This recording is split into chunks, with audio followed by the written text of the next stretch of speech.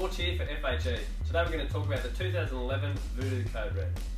With the same shape as the Voodoo Unlimited, the Voodoo Code Red has a centrally placed bow, maxi head shape and the slim profile you expect from all Voodoo sticks.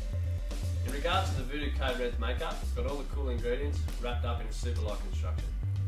And finally, the Code Red is part of Voodoo's Elite range. For more on it, check it out in-store or online